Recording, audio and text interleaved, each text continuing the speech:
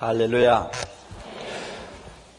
지난 무더운 여름 동안 하나님께서 여러분을 지켜주심을 감사하고 또 열심히 교회를 중심으로 하나님을 섬기는 거룩한 백성답게 신앙생활 잘해주신 데 대해서 참 감사의 마음을 여러분에게 전하고 싶습니다.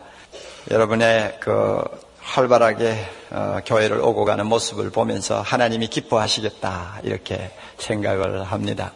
후반기 사역을 시작하면서 이 첫 설교를 하는 저의 입장에서 이상하게 이 하나님의 사랑에 관해서 설교를 해야 된다 하는 이 어떤 강박관념이 어, 저에게 계속 따라다녔습니다. 사실 이 하나님의 사랑에 관한 설교를 한다 이것은 설교자에게 쉬운 것 아닙니다. 아마 저에게 누가 묻기를 설교 가운데서 제일 어려운 주제가 뭐냐 하고 묻는다면 아마 저는 하나님의 사랑도 하나 끼워 넣을 것 같아요. 뭐 이게 하나님의 사랑이란 보이지 않는 하나님이 우리를 사랑하신다는 말인데 이것을 무슨 화려한 문장으로 뭐 설명을 할 수도 없고 또 사전에서 찾아가지고 이것이요 하고 내놓을 수 있는 것도 아니지 않습니까? 어떤 사람이 그런 말을 하대요. 하나님의 사랑에 대해서 설명을 하라고요? 차라리 울어버리겠습니다. 그러더라고요. 말보다는 눈물이 훨씬 더 하나님의 사랑을 이야기하는데 효과적일 수가 있습니다. 훨씬 효과적일 수 있어요. 그렇다고 해서 설교자가 내내 눈물을 흘리고 서 있기만 할 수도 없는 것 아닙니까? 그러니 자, 이거 하나님의 사랑을 설교해야 되는데 어떻게 해야 할 것인가? 하나님 앞에 저 자신이 어, 기도하면서 많은 생각을 했어요. 그럼에도 불구하고 왜 하나님의 사랑에 대해 설교를 하려고 하느냐? 제가 볼 때 많은 분들이 다는 아니에요. 많은 분들이 사랑의 교회를 다니면서도 하나님의 사랑에 대해서 좀 병적인 반응을 보이는 경우들이 있습니다. 너무 상식화된 사랑을 알고 있어요. 어떤 면에는 너무 무감각한 사랑을 알고 있어요. 자식한테 엄마가, 예, 엄마가 널 얼마나 사랑하는지 아니? 자식의 반응은 무엇입니까? 뭐 엄마니까 당연하지 뭐, 그래. 접촉점이 없어요. 엄마의 가슴에 있는 진한 사랑을 자식에게 알려줄 접촉점이 생기지를 않아요. 왜냐하면 자식은 엄마니까 당연히 사랑하는 거 아니야. 거기에는 감동도 없어요. 주어도 주어도 고마운 줄을 몰라요. 하나님의 사랑, 뭐 하나님은 사랑이니까, 하나님은 사랑이, 사랑이니까 사랑하시는 거 당연하지 않느냐? 자, 이렇게 말을 할 수 있습니다. 그런 식으로 생각하면서 신앙생활 하는 분이 많아요. 이거 참 어려운 일입니다. 만일 여러분이 그런 사랑에 대한 병적인 반응을 가지고 신앙생활을 하신다면 오늘 이 시간 성령께서 여러분을 특별히 찾으시기를 바랍니다. 하나님의 말씀이 여러분의 귀에 확성기에서 들려오는 소리처럼 울리기를 바랍니다. 그것은 불행한 이야기예요. 하나님의 사랑은 자주 들어야 합니다. 자꾸 읽고 배워야 합니다. 할 수 있는 대로 자주 묵상하고 찬송하고 고백해야 합니다. 느낌이 오든 오지 않든 상관없어요. 계속 하나님의 말씀을 듣고 보고 생각하고 고백하고 찬양하다가 보면 어느 날 나도 모르게 하나님의 사랑의 바다에 두둥 실떠 다니는 자기 모습을 발견할 수 있습니다. 그래서 하나님이 어려운 설교지만 또 해라 하고 저에게 아마 말씀하신 것 같아요. 최근에 많이 읽히는 책 가운데서 그 마음을 열어주는 열, 어, 101가지 이야기라는 책이 있지 않습니까? 아마 여러분 중에는 읽으신 분들도 계시겠지만, 제가 그 책을 읽으면서 참 감동적인 어, 내용 하나를 놓고 좀 깊이 생각을 해보았습니다. 악성 췌장암에 걸려가지고 이제는 6개월밖에 살지 못한다는 절망적인 선고를 받고 면회도 금지된 병원 독방에서 참 응급조치를 받으면서 하루하루 죽음과 싸우는 삶을 사는 아버지가 계셨어요. 그, 아, 그 아버지에게는 아들이 하나 있었는데 이미 성인이죠. 의사 일을 하고 있는 아들입니다. 그 아버지와 아들 사이에 일어났던 이야기입니다. 아들은 어려서부터 아버지에 대한 인상이 안 좋아요. 너무 고지식하고 완고하고 너무 감정이 메말라 있어서 자식들에게 아버지의 애정을 한번 제대로 표현한 일이 없었나 봐요. 그리고 자식의 말을 잘 듣지 않고 항상 자기 주장대로 해버려요. 그러니까 나중에는 아버지만 보면 가슴에서 분이 치밀러 올라서 참을 수가 없어지고 결국은 두 사이가 멀어져서 수십 년 동안 그저 형식상 아버지 아들이지 아무런 내적인 사랑이 오고 가, 는 일이 없는 상막한 관계를 유지해 왔나 봅니다. 그러나 이제 얼마 남지 않아서 돌아가실 아버지를 바라보면서 아들의 마음에 변화가 일어났습니다. 어느 날 병문안을 와가지고 그는 아버지에게 이렇게 말했습니다. 아버지, 제가 진정으로 아버지를 사랑하고 싶어요. 그리고는 아버지를 꽉 껴안았어. 갑자기 막 그냥 아, 들이 자기를 껴안으니까 아버지가 놀래가지고 잔뜩 긴장해가지고 머리를 뒤로 탁 제끼면서 고슴도치처럼 팍빠됐어요. 안기지를 않는 거예요. 첫 번 그랬지만 그 다음에 병문안 와가지고는 또 아버지를 안았어요. 여전히 고슴도치처럼 팍 빠돼가지고 안기지를 않아요. 그러니까 아들의 마음에 또 분노가 치밀어 올랐습니다. 이, 이, 정말 이건 소망이 없구나. 그러다가도 다시 마음을 고쳐 먹었습니다. 자기는 세상 떠나기 전에 아버지를 마음으로 받아들여야 하고 아버지는 마음으로 진정 자녀를 사랑할 수 있어야 되는데 그렇게 하기 위해서는 안아주는 길밖에 없다. 이래가지고 병문안을 올 때마다 아버지를 안았어요. 그리고 어떤 때는 아버지가 좀 말을 잘 안 들으면 아버지 팔을 저, 저, 저에게 좀 둘러보세요. 그리고 좀 깎여 안으세요. 그래요, 됐어요. 좀 더 힘있게 껴안아 보세요. 이러면서 아버지를 계속 유도했습니다. 점점 점점 아버지의 긴장된 자세가 풀어지는 데는 그로부터 몇 달이 걸렸습니다. 나중에는 아버지가 아들을 먼저 껴안기 시작했습니다. 그리고 두 사람 사이에는 점점 깊은 애정과 염려를 가지고 서로 바라보는 어, 관계가 형성이 되었습니다. 200번 채의 포옹이 있던 어느 날 아버지는 이런 말을 했다고 합니다. 애야, 난 널 사랑해. 평생 아버지로부터 들어보지 못한 사랑의 표정, 어, 표현, 애정의 표시를 처음으로 들었다고 합니다. 200번 안아주던 그날, 애야, 널 사랑해. 제가 이 이야기를 읽으면서 해롤드 블룸필드라고 하는 어, 그 아들 되는 사람이 쓴 건데, 아, 헤롤드 블룸필드. 아, 그 이야기를 읽으면서 저는 이렇게 중얼거렸습니다. 하나님 아버지, 하나님은 저를 200분만 안아주셨나요? 2000번도 더 안아주셨죠. 하나님이 처음에 저를 안아주실 때 내가 늘 사랑해 하고 안아주실 때 제가 어떻게 했어요? 뻣뻣했죠. 안기기도 싫어하고 고개 쳐들고. 그러나 하나님이 200번, 2000번 지금까지 수없이 안아주셨기 때문에 나도 모르게 내 입에서 하나님 사랑해요. 예수님 사랑해요. 사랑해요. 하는 말이 나도 모르게 절로 나오지 않았어요. 하나님 아버지 보세요. 사랑의 교회를 보세요. 교회를 5년, 10년 다녔지만 하나님이 안아주려고 하면 몹시 안기지 않는 힘든 사람 많지 않아요. 반응이 없잖아요. 냉랭하지 않아요. 고슴도치처럼 고개를 치켜들고 뻣뻣한 사람 많지 않아요. 하나님 저를 안아주신 것처럼 200번도 좋아요. 2000번도 좋아요. 주님 좀 안아주세요. 사랑의 교회를 좀 꼭 껴안아주세요. 그래서 우리 입에서 하나님 사랑해요 하는 말이 나올 수 있도록 좀 해주세요. 저도 모르게 이런 기도 반, 중얼거린, 중얼거린 반, 이렇게 제가 한 일이 있어요.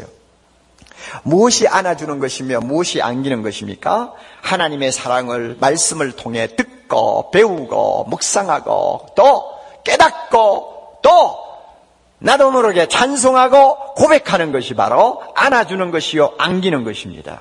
처음에는 어색할지 모릅니다. 감정이 어떤 때는 없을지도 모릅니다. 그러나 하나님 말씀 앞에 놓고 하나님이 어떻게 나를 사랑하시는가 하는 말씀을 계속 듣고 읽고 묵상하고 깨닫고 또 나중에 그것을 다시 회상하고 고백하고 찬양하다가 보면 찬양하다가 보면 그것이 2천번이든 2만 번이든 그렇게 하다 보면 드디어 하나님의 사랑에 내가 푹 젖어들면서 나도 모르게 하나님 사랑해요 하고 고백하는 행복한 사람이 될 수 있습니다. 저는 그 은혜를 우리 사랑에게 달라고 기도하면서 설교하는 것입니다. 그렇게만 되면 그런 은혜를 받기만 하면 이 필립 블리스라고 하는 찬송 작가가 쓴 그런 아주 행복한 찬송을 우리가 부를 수가 있어요. 신앙생활하는 재미가 어디 있습니까? 신앙생활하는 사람의 그 행복이 어디 있습니까? 하나님 사랑받는 행복 아닙니까? 할렐루야! 하나님 사랑받고 사는 거 아니요? 아, 이것, 그런데 이것을 모르고 세상을 살면 얼마나 불행합니까? 뭐 천국은 들어갈지 모르지만은 얼마나 불행해요. 그 블리스가 지은 찬송 가사 이런 것이 있지 않습니까? 하나님 아버지 주신 책은 귀하고 중하신 말씀일세. 방, 기쁘고 반가운 말씀 중에 날 사랑하신단 말 참 좋도다. 기쁘고 반가운 말씀 중에 날 사랑한단 말 참 좋도다. 주 나를 사랑하시오니 즐겁고 즐겁고도 즐겁도다. 주 나를 사랑하시오니 나는 참 기쁘다. 주 예수 날 사랑하시오니 마귀가 놀라서 물러가네. 주 예수 이렇게 사랑하니 우리는 어떻게 보답할꼬? 주 나를 사랑하시오니 즐겁고도 즐겁도다. 주 나를 사랑하시오니 나는 참 기쁘다. 이게 예수 믿는 사람의 행복이요, 재미예요. 제가 성경에 있는 하나님의 사랑에 관한 말씀을 여기저기 많이 찾아보았는데, 그 가운데서 역시 요한복음 13장 1절이 참 우리에게 젖어드는 어떤 감동이 있는 말씀으로 전해져요. 왜냐하면 이거는 현실적인 이야기니까. 막연히 하나님이 사랑한다가 아니고 현실적으로 우리에게 하나님의 사랑이 어떤 것인가를 보여주고 있기 때문에 이 말씀이 참 좋다 하고 제가 이 말씀을 선택했어요. 사실은 오늘 이 본문 가지고 할 시간이 아니에요. 그럼에도 불구하고 13장 1절을 제가 선택했습니다. 예수님은 지금 제자들을 떠나서 십자가에 죽으시고 하나님 나라로 다시 올라가실 날이 불과 2, 3일밖에 남지 않았어요. 이제는 시간이 점점 점점 짧아지고 있고 사랑하는 제자들을 두고 가야 된다는 사실 앞에 예수님도 마음이 아팠어요. 그래서 마지막으로 그가 하신 일이 뭐라고 그랬어요? 세상에 있는 자기 사람들을 사랑하시되 끝 끝까지 사랑하시니라. 다시 한번 다 같이 세상에 있는 자기 사람들을 사랑하시되 끝까지 사랑하시니라. 이것 보면 하나님이 우리를 어떻게 사랑하고 계시는가를 금방 알 수 있어요. 왜 그런가 하면은 예수님과 하나님은 하나입니다. 12장 44절 좀 보세요. 바로 앞에 있는 장. 12장 44절 예수께서 외쳐 가라사대 나를 믿는 자는 나를 믿는 것이 아니요? 다 같이 나를 보내신 이를 믿는 것이며 그 다음에 나를 보는 자는 나를 보내신 이를 뭐하는 것이라고 그래요 보는 것이라고 그랬죠. 그러니까 예수님 보면 하나님 보는 것이고 예수님이 하시는 행동 보면 하나님도 저렇게 하시겠구나 하는 걸 우리가 금방 아는 것입니다. 그래서 예수님이 이제 자기가 세상을 떠날 날이 얼마 남지 않았다는 것을 아시고 제자들을 사랑하시되 세상 끝날까지 사랑하셨다. 그 마지막까지 사랑하셨다고 이렇게 말씀하고 계십니다. 우리 중에 하나님의 사랑을 아직도 잘 모르고 계시는 분 있습니까? 하나님은 사랑이시라는데 어떻게 해서 나에게 이런 일이 일어날 수 있을까 하고 마음에 갈등이 생기고 하나님의 사랑에 대해서 회의가 일어나는 형제자매 있습니까?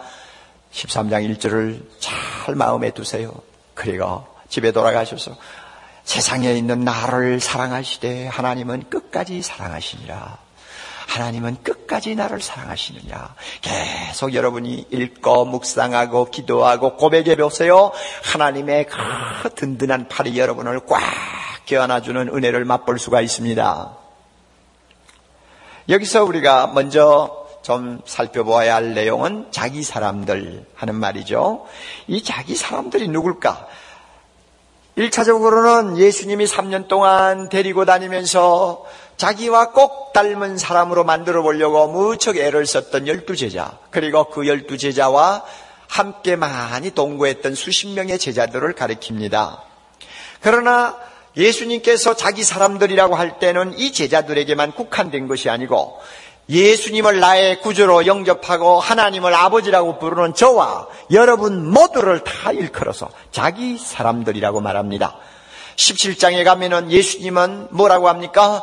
아버지께서 내게 주신 자들이라고 말합니다.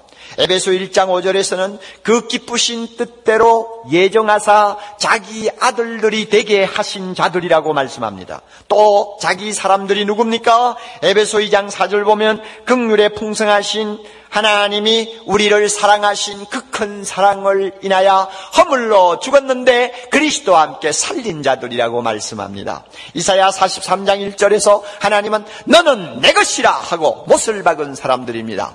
또 이사야 49장 16절 보면 내가 너를 내 손바닥에 사겼다고 했는데 손바닥에 새긴 사람이 바로 자기 사람들이요.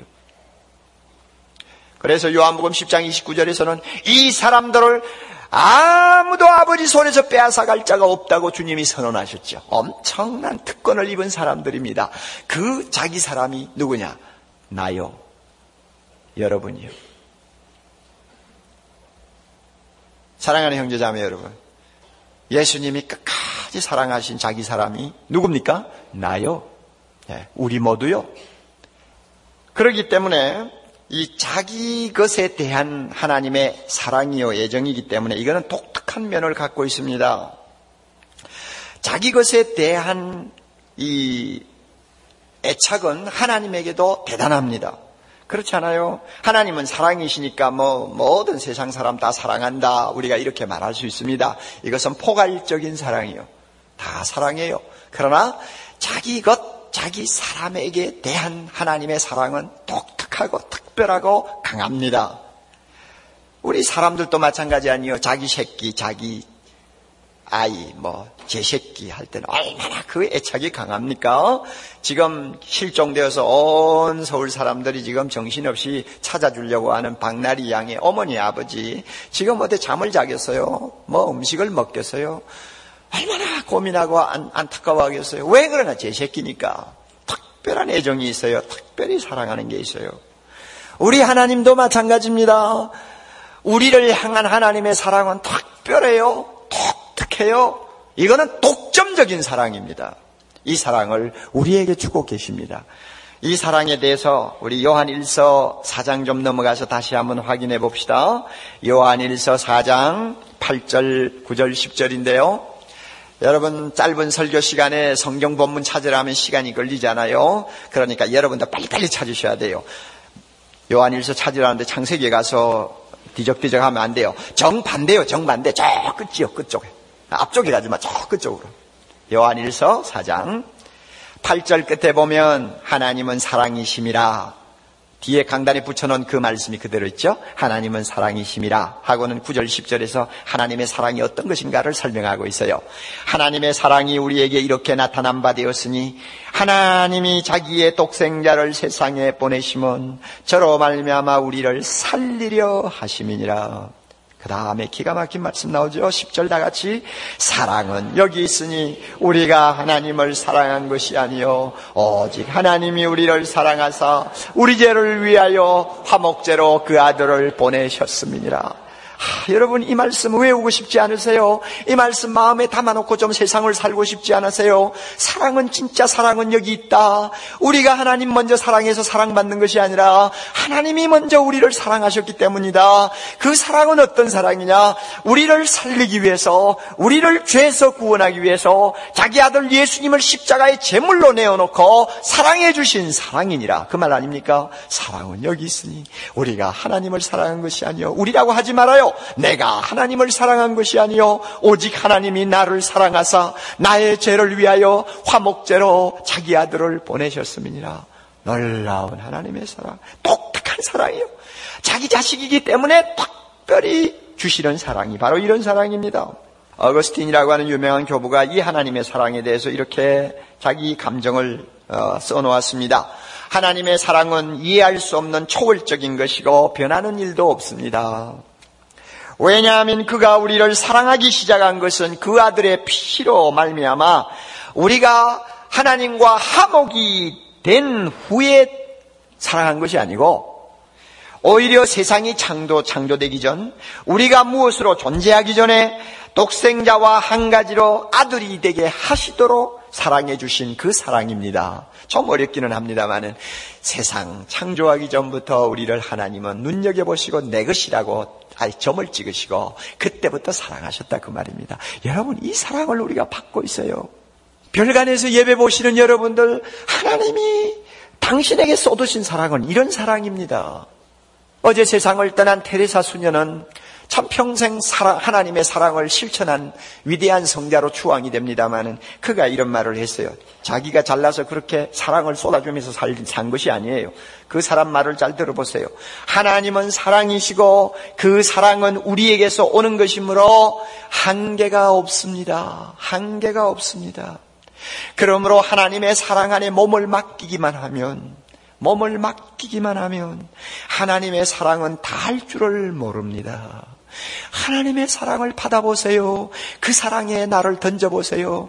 그 사랑은 끊임없이 내 안에서 솟아나서 강처럼 흐르고 흘러 많은 사람에게 주고 주고 또 주어도 또 주어도 다함이 없는 사랑입니다 하는 뜻이죠. 그러기에 그 사람이 그런 인생을 살다가 가는 것 아닙니까? 그만큼 하나님의 사랑은 엄청나고 특별한 것입니다. 이 사랑을 하나님이 자기 것된 자기 사람 된 우리에게 바로 여러분에게 바로 저 에게 지금 쏟아주고 계시는 것입니다. 이것을 믿으시기 바랍니다. 예. 이 세상이라고 세상이라고 하는 말이 있죠. 세상에 있는 자기 사람들. 이 세상이라는 말은 원문의 이 세상이에요. 이 세상은 우리 예수님이 매우 싫어하는 현장입니다. 또 예수님이 늘 안타깝게 여기시고 예수님께서 대단히 그참 어, 그 고통스러운 눈으로 보시던 세상이죠. 요한복음 9장 39절 내가 심판하러 이 세상에 왔다. 12장 31절 이제 이 세상에 심판이 이르렀다. 그러니까 예수님이 이 세상 할 때는 항상 심판 이야기 많이 하셨어요. 왜냐하면 이 세상은 죄와 죽음이 지배하는 영역을 말합니다. 죄로 부패한 인간들이 하나님을 대적하면서 제 마음대로 사는 현장을 말합니다. 나중에는 예수 그리스도를 십자가에 못 박아 죽이고도 양심 하나 가책을 받지 아니하는 포악한 세상을 말합니다. 수고와 슬픔만이 존재하고 그 속에서 한평생 살다가 한숨 쉬면서 눈물을 흘리면서 떠나야 되는 세상을 말합니다. 그래서 핑크라고 하는 학자는 이런 말까지 했어요. 하나님은 세상을 만드셨지만 죄는 이 세상을 만들었다. 하나님은 이 세상, 하나님은 우주 만물 아름다운 세상을 만들어 주셨지만 죄가 들어와서 바로 이 세상을 만들어 주었, 만들어 놓았어요. 옳은 말이에요. 그러므로 이 세상에 우리 예수 믿는 사람이 산다는 것은 쉬운 일이 아닙니다. 우리는 하나님의 것이요 하나님께 속하였기 때문에 믿습니까? 우리는 하나님의 것이요 하나님께 속하였기 때문에 하나님의 사랑을 특별히 받는 존재들이기 때문에 이 세상에 사는 것은 쉬운 일이 아니요 우리는 이방인입니다. 어떤 면에는 이 세상을 사는 것은 모험이요 위험 부담이 상당히 따르는 나그네 생활입니다. 세상 사람들은 이 세상에서 맘 놓고 살 수 있을지 모르지만 오히려 하나님의 자녀는 이 세상을 살기가 훨씬 더 불편합니다. 훨씬 더 고통스럽습니다. 오늘 일부 예배에서 일부 예배 때 간증한 어느 형제 간증 들으면서 내가 은혜 받았어요. 회사에서 자 예수 믿기 전에는 마음대로 하던 거 예수 믿고 나니 아무래도 양심상 할 수 없는 일들이 있잖아요. 그것을 하지 아니하면서 견디려고 하니까 사방에서 주는 스트레스가 얼마나 많은지 그 심정을 그가 표현하더라고요. 옳은 이야기죠. 직장 다니시면 여러분 다 경험하는 일 아닙니까? 예수 믿는 사람이 세상에 사는 거 쉬운 거 아니에요. 미국의 이민간 우리 교포들이 영어 잘하고 시민권 받고 그곳에서 20년, 30년 살아서 이미 다 자기 고향처럼 느껴지지만 그들의 마음에 애환이 있어요. 왜냐하면 이방인 취급받거든요. 여전히요. 그와 똑같은 형편에 있는 것이 하나님의 자녀된 우리가 이 세상에서의 모습입니다. 그러므로 기억하십시오. 우리 하나님은 우리가 이 세상에 살고 있는 것을 알고 계십니다. 할렐루야. 이 세상에 있는 자기 사람들을 사랑하시되 끝까지 사랑하시니라. 우리가 이 세상에 살고 있는 거 알아요? 죄 때문에 얼마나 고민하고 고통하는지 잘 알고 계세요. 수고와 슬픔뿐인 이 세상에서 눈물, 한숨, 고통이 떠날 날이 없는 이 세상에서 우리가 남모르게 울기도 하고 남모르게 탄식하는 것 주님이 너무 잘 알고 계세요. 잘못한 것도 없는데 억울한 일을 당해서 정말로 마음 둘 곳이 없어 방황하는 우리 자신을 너무나 잘 알고 계세요. 믿었던 사람에게 배신당하고 믿었던 사랑에 상처 입었을 때 내 가슴을 안고 어찌할 줄을 모르는 나의 모습 주님이 잘 아세요. 이 세상에 있는 자기 사람들을 사랑하신다는 것처럼 이 세상에 있는 우리들을 하나님은 사랑하고 계십니다. 믿으시기 바랍니다. 끝까지 사랑하시니라. 이 끝까지라는 말은 생명 다하기까지. 그러니까 어, 예수님이 세상 떠나는 그 순간까지라는 말도 되고 제자들이 이 세상 어, 사는 마지막 날까지라는 말도 됩니다. 더 나아가서는 어떤 형편에서든지 하는 뜻도 들어있고요. 좀 더 우리가 좀 의미를 어, 완곡하게 표현하면 완전하게 사랑하시고 영원히 사랑하신다는 말입니다. 이 말이 끝까지 사랑하시니라 하는 말씀이에요. 베드로를 보세요. 3년 동안 그렇게 예수님 뒤를 따라다니면서 열심히 배웠고 그래도 예수님의 열두 제자 중에 수제자로 대접받던 사람 아닙니까? 예수님이 얼마나 그 사람을 믿었습니까? 그러나 못된 사람, 자기가 급하니까 세 번이나 예수님을 배신했잖아요. 내 같으면 쳐다도 안 볼 것 같아요. 그걸 사람이라고 쳐다보겠어요? 쓸개가 있느냐고 한 방 먹여주고 싶을 정도로. 그렇지 않겠어요? 세상에 제일 괘씸한 사람이 사랑을 배신하는 거 아닙니까? 그럼에도 불구하고 예수님 어떻게 하셨어요? 시몬의 아들, 요한의 아들 시몬아, 내가 이 모든 사람보다 나를 더 사랑하느냐? 나를 따르라. 나를 따르라. 끝까지 사랑하시는 주님의 모습을 여러분 보시지 않아요? 나를 따르라. 우리가 어떤 때는 믿음이 병들 때가 있어요. 어떤 때는 살다가 보면은 주님이 기뻐하시지 않는 자리에 우리가 가서 서 있을 때도 있어요. 그러나 한 가지 분명히 알아두세요. 그때도 주님은 여전히 가까이 계셔서 나를 향해 이렇게 말씀합니다. 나는 끝까지 너를 사랑한다. 믿습니까? 예. 남이 모르는 골방에서 나 혼자 슬픔을 사귀며 한숨 쉬고 고통할 때 그때도 주님은 나를 사랑하신다고 합니다. 이것이 끝까지 사랑하는 거예요. 나이가 들어서 머리는 하얗게 새고 힘은 빠지고 이제는 그렇게 따르고 존경하던 사람들도 한둘 다 떠나고 혼자 빈방 지키면서 자식들 눈치 봐가면서 남은 여생을 살아야 하는 피곤한 우리 어머니, 아버지들. 그러나 주님은 뭐라고 말씀합니까? 내가 끝까지 너를 사랑한다. 남편 먼저 잃었습니까? 아내 먼저 잃었습니까? 자식을 먼저 보냈습니까? 아니면은 사랑하던 사람에게 버림받았습니까? 아, 그래서 마음 둘 곳이 없을 때도 주님은 내 곁에 서서 나는 끝까지 너 사랑한다. 아시겠어요? 이 음성 들으세요? 부유할 때만 주님이 나를 사랑하시는가요? 아니요. 생활 걱정을 매일매일 해야 되는 아주 쪼들리는 삶 속에서 얼굴에 웃음이 사라져버린 그런 삭박한 삶 속에서 허덕일 때도 주님은 찾아오셔서 그래도 난 널 끝까지 사랑해 하고 말씀합니다. 할렐루야. 이게 끝까지 사랑이요. 어떤 때는 내가 도무지 이해할 수 없는 일을 당합니다. 그렇게 기도 많이 하고 그렇게 하나님의 말씀대로 살아보려고 하는데도 왜 하나님 이런 일이 나에게 일어납니까? 이해할 수 없는 때가 있죠. 그럴 때도 주님은 찾아오셔서 그래도 나는 끝까지 널 사랑해 하고 말씀해요. 이번에 캄보디아로 돌아가다가 가족이 몰살한 선교사가 있잖아요. 오영석 선교사님. 캄보디아의 가족 전체가 피를 뿌리고 순교자가 되어버렸죠. 야, 그러나 그 기사를 볼 때, 하나님 어떻게 하려고 그럽니까? 왜 이러세요? 왜 이러세요? 나도 모르게 마음에서 막 그냥 그런 소리가 훅 튀어나와요. 그러다가도 저의 귀에 들리는 음성이 뭔지 알아요? 그래도 나는 오성교사 가족을 사랑하고 있어. 그래도 내가 사랑하는 거야. 그 선교사는 2주 전에 제가 인도한 교회 갱신 협의회 수련회에 참석했던 사람입니다. 그가 한국을 떠나면서 교회 앞에 이런 이야기를 했다고 해요. 캄보디아는 성교의 오지, 오지입니다. 매우 위험하고 어려운 곳이기에 더욱 성교 활동이 필요합니다.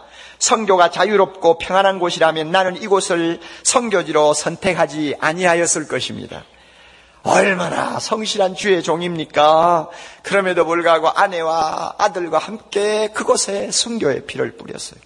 하나님이 사랑하지 않아서요? 아니요. 그럼에도 불구하고 하나님은 말씀합니다. 그래도 나는 그들을 사랑해. 저는 에스를 아니요 야곱을 생각했습니다.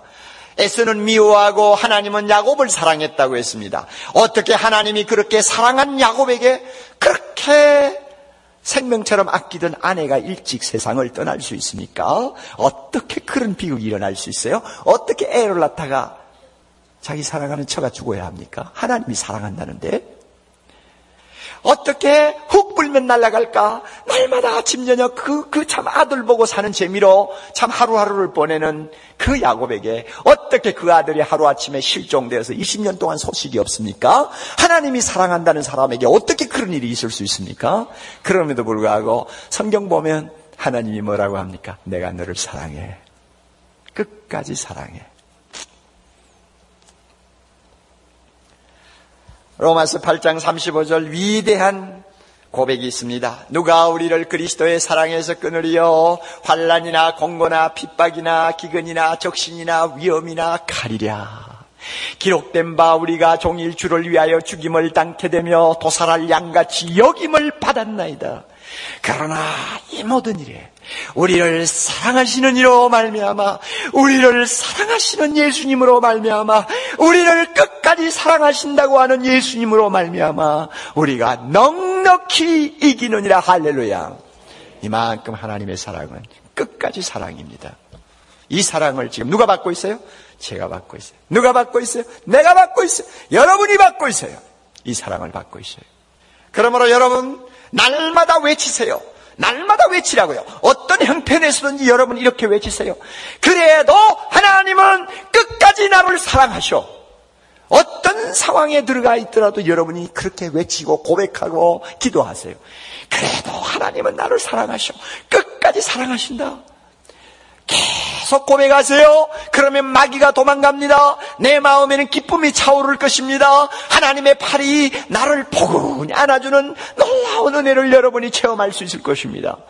하나님이 나를 사랑하시는 것 같지 아니한 환경일수, 환경일수록 우리는 이렇게 고백해야 합니다. 그래도 하나님은 끝까지 나를 사랑하시오. 다 같이 따라하세요. 그래도, 그래도 하나님은 끝까지 나를 사랑하셔. 믿습니까, 여러분? 이 사랑을 우리가 가득히 담고 전해야 되지 않겠어요? 하, 여러분, 다이애나처럼 말이죠. 그 남편 사랑 하나 놓치고 나니까 완전히 사람이 파괴돼 버리잖아요. 뭐 영국은 뭐, 뭐, 뭐 어떤 장례식을 치르든 간에 우리는 참 불쌍한 사람이라고 보지 않습니까? 여러분 그렇잖아요. 왜냐하면 하나님의 사랑을 몰랐기 때문에 그래요. 기독교 국가라고 할 만한 그런 나라에서 모든 장례식이 기독교 예식으로 치루어지는 나라지만 다이애나는 하나님을 몰랐어요. 하나님의 사랑 끝까지 사랑하시는 하나님의 사랑을 모르면 인격이 파괴됩니다. 생활이 파괴됩니다. 이런 사람이 우리 주변에 얼마나 많아요? 그러므로 대각성 전도 집회를 통해서 이 하나님의 사랑 나만 받아서는 안 되잖아요. 나만 이 사랑 독차지하면 안 되잖아요.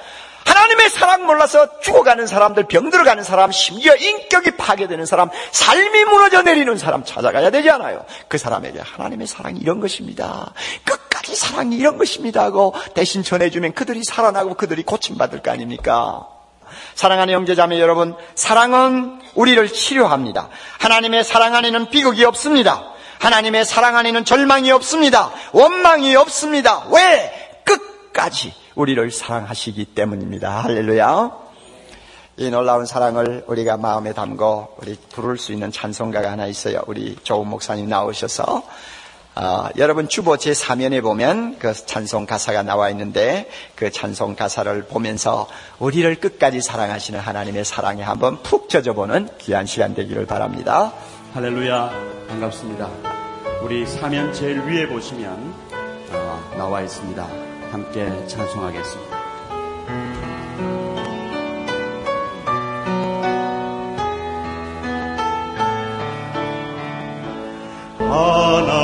하나님의 사랑을 사모하는 자 하나님의 평안을 바라보는 자 너의 모든 것 창조하신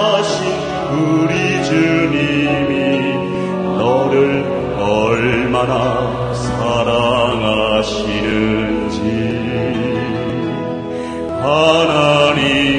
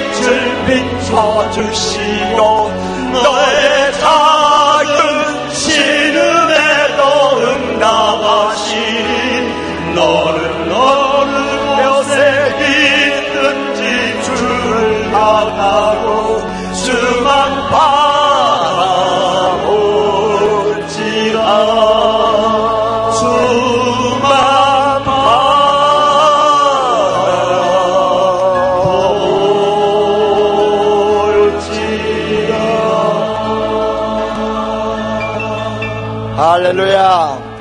다 같이 머리 숙여 합심해서 기도합니다. 여러분, 하나님이 여러분을 이렇게 사랑하시는데, 마음이 둔합니까? 뻣뻣합니까? 하나님의 품에 안기기를 거부하고 있습니까? 성령이여 이 시간이 임하시옵소서, 내 마음을 녹여주옵소서, 하나님의 사랑에 안기게 하옵소서, 이 세상에 사는 자기 자식들을 끝 까지 사랑하신다고 약속하시고, 오늘도 사랑하시는 주여, 이 사랑 더욱더 풍성히 알게 하옵소서, 한 목소리로 기도합니다. 아버지 하나님이여 오늘 시간 머리 숙인 주의 자녀들과 부족한 종을 용납하여 주옵소서. 놀라운 주의 사랑이 우리의 마음을 사로잡아 주옵소서. 완악한 마음을 깨뜨려 주옵소서. 하나님의 사랑이 아닌 세상 사랑으로 마음을 채우고 있는 자 하나님 십자가 앞에서 하나님이여 자신을 회개하고 그 더러운 사랑 잘못된 사랑 다 쓸어버리고 하나님의 사랑을 담는 기쁨 과 감격을 안겨 주옵소서 이 세상에, 세상에 살면서 상처 입은 자 있습니다. 하나님이여 마음에 말할 수 없는 갈등과 공허함과 슬픔을 가지고 있는 자 있습니다. 이 시간 주여 임재하셔서 우리 모두에게 사랑을 알게 하옵소서. 무궁한 사랑, 끝없는 사랑, 헤아릴 수 없는 하나님의 사랑을 우리가 마음에 담고 위험한 세상 살면서 승리할 수 있도록 우리 주님 축복해 주옵소서. 거룩하신 하나님 아버지여 이 세상에 사는 자기 사람들을 사랑하시되 끝까지 사랑하시니라고 하신 주님.